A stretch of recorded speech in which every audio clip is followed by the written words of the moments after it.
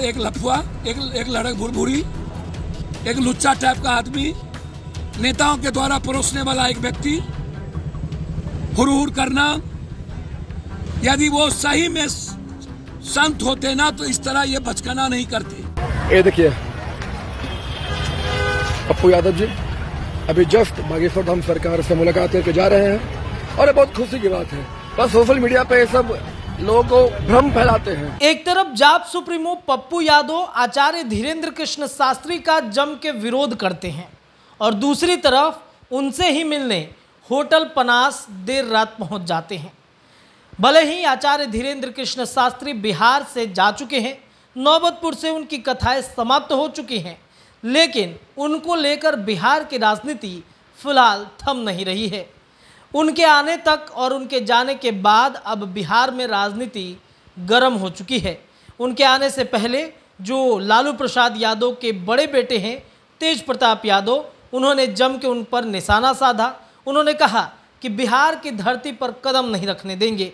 जो लोग भी नफरत फैला रहे हैं, हिंदू मुस्लिम कर रहे हैं, वैसे लोगों को बिहार आने में हम लगातार उनका विरोध करेंगे। बहरहाल धीरेन्द्र कृष्ण शास्त्री बिहार पहुँच जाते हैं।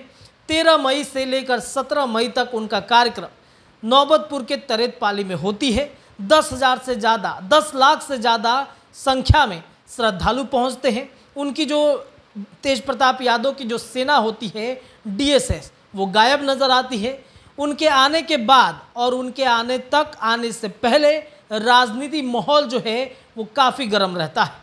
इतना ही नहीं, महागठबंधन के तमाम जो नेता हैं, वो भी आचार्य धीरेन्द्र कृष्ण शास्त्री के विरोध कर रहे हैं। लेकिन जाप सुप्रीमो पप्पू यादव भी खूब विरोध किए।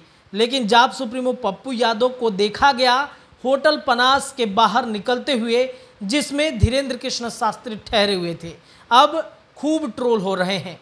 खूब लोग उनका जम के मज़ाक उड़ा रहे हैं। तो क्या जाप सुप्रीमो पप्पू यादव ने बिहार वासियों से झूठ बोला, झूठा विरोध किया आचार्य धीरेन्द्र कृष्ण शास्त्री का।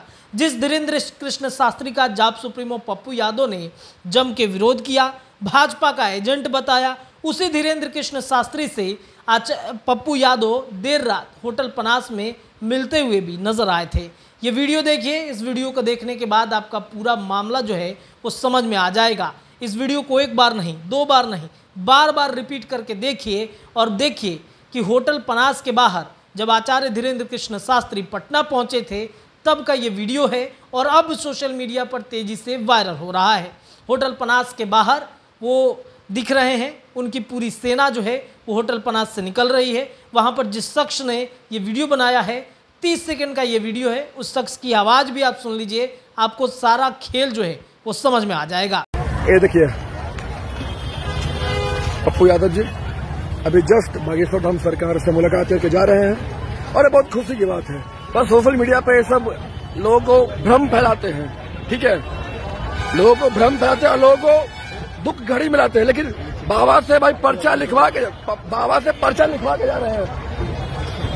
बिल्कुल बिल्कुल बिल्कुल बिल्कुल। वही तो हम बोल रहे हैं कि पप्पू यादव जी अभी जस्ट मिल गए हैं बागेश्वर धाम सरकार से। जो भीड़ देख रहे हैं ना, बहुत ही बेहतरीन भीड़ है। ठीक है? ये देखिए। पूरा भीड़ ही भीड़ है भाई।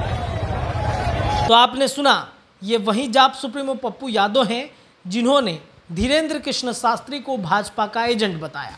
अब देखिए, एक ही वीडियो नहीं है, भले ही महागठबंधन की सरकार जो है, धीरेन्द्र कृष्ण शास्त्री का विरोध करे, लेकिन बाहुबली अनंत सिंह की पत्नी नीलम देवी भी आचार्य धीरेन्द्र कृष्ण शास्त्री के चरणों में गिरती हुई नज़र आई थी। उनका भी वीडियो सोशल मीडिया पर वायरल है। ये वीडियो तब का है जब भोजपुरी की स्टार क्वीन अक्षरा सिंह मिलने पहुँची हुई थी। उन्होंने उन अपना गाना आचार्य धीरेन्द्र कृष्ण शास्त्री को सुनाया। उस वक्त नीलम देवी भी वहाँ पर बैठी हुई नज़र आई थी। यानी कि जो लोग भी विरोध कर रहे हैं, वहीं आचार्य धीरेन्द्र कृष्ण शास्त्री के चरणों में गिरते हुए नज़र आ रहे हैं। उनकी ही पार्टी के तमाम दिग्गज नेता, उनके करीबी बाबा के चरणों में गिरते हुए नज़र आ रहे हैं। तो किस बात का विरोध कर रहे हैं? क्या बिहार की जनता को बरगरा रहे हैं? क्या बिहार की जनता को झूठ बोल रहे हैं? पूरा मामला आप समझ ही चुके होंगे। फ़िलहाल इस वीडियो पर अपनी प्रतिक्रिया कमेंट बॉक्स में दे सकते हैं। आप जुड़े रहिए हमारे चैनल द बिहार टॉप के साथ। धन्यवाद।